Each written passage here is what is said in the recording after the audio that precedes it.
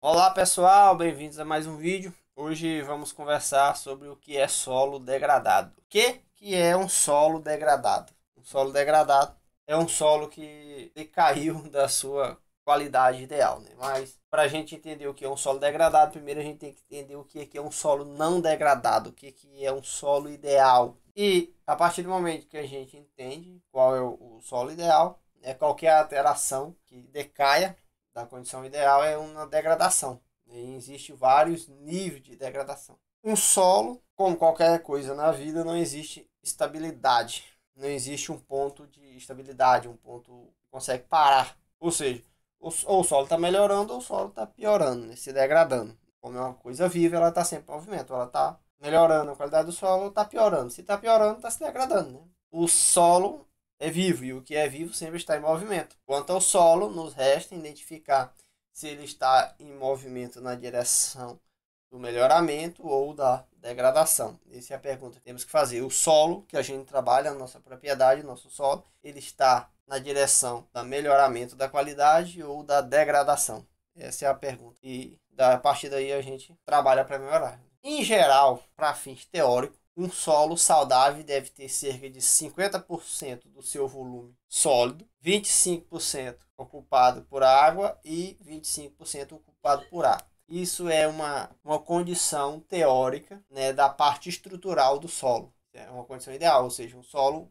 muito poroso, bem poroso, que a gente fala um solo com boa porosidade, né, o volume do, do, daquele solo, é, a parte física dele, os minerais, matéria orgânica e tudo mais, só ocupa, só ocupa 50%, os outros 25% é ocupado por água, e são os microporos, que é onde consegue reter a água, e os outros 25% é, é por macroporo e, e os poros os poro médio, que é onde que acontece a, aeração do sol. Né? Então, esse 25% de água é o suficiente para alimentar as plantas com água, os 25% de ar é para manter a aeração do, do, do solo, né? facilitar também a, vi, a vida biológica do solo, né? que existe na, dentro do solo. E também é por onde as raízes encontram facilidade para crescer. Não necessariamente elas vão crescer dentro dos poros, né? mas facilita o crescimento das raízes. Um solo poroso, a raiz se desenvolve mais. E quando é que o solo se torna compactado, né? quanto essa porcentagem de parte, li, de parte sólida do solo é muito maior que 50%, né? 70%, 80%, 90% do solo então é considerado um solo né, compactado. Mas isso é a, é a estrutura saudável do solo no tocante à estrutura mesmo dele. Né? Isso é um solo não degradado na questão da estrutura. Aí ainda existe a degradação química né, e a degradação biológica. Né? A degradação química é quando é, perde o fertilidade do solo, basicamente. Então, um solo não degradado, né, ele tem uma boa textura, uma proporção adequada de partículas de areia, sídea e argila que permite a retenção de água e nutrientes e a circulação de ar no solo, né? Então, um solo com boa estrutura, além de ser, ter o seu formato, uma boa porcentagem de areia, sítio, argila e, obviamente, matéria orgânica, né? E essa proporção de 25% de água, de ar e 50% é, física. Né? Tem uma estrutura adequada à organização das partículas do solo em agregados, que promove a porosidade e a permeabilidade do solo, né? a capacidade da água se infiltrar no solo. E um solo não degradado também ele tem um pH equilibrado. Né? Lembrando que para a maioria das culturas o pH ideal é de, de 5,5 até 6,5, um pouco mais de 6,5, não chegando ao 7. Né? Um, um solo levemente ácido é um solo ideal porque nesse equilíbrio de pH os nutrientes do solo estão mais disponíveis.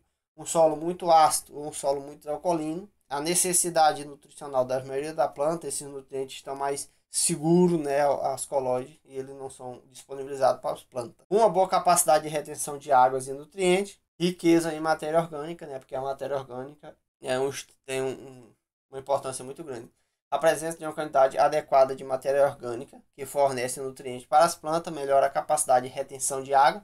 Né? A capacidade da matéria orgânica de reter água é muito boa.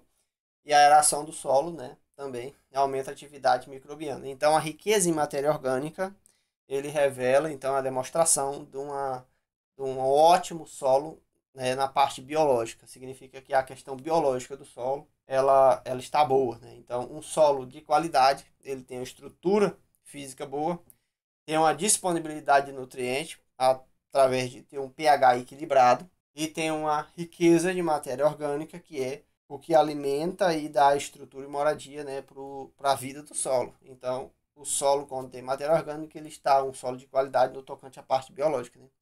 E a ausência de patógenos e toxina. Uso livre, um solo livre de patógenos e toxina que possam prejudicar o crescimento de, das plantas. Né? Então, se o solo está com patógenos e toxinas no solo, ele está degradado nessa parte biológica. Ele está biologicamente degradado por questão de estar contaminado. Um solo que não tem matéria orgânica, ele está com sua parte biológica degradada porque ele não tem uma abundância de vida biológica.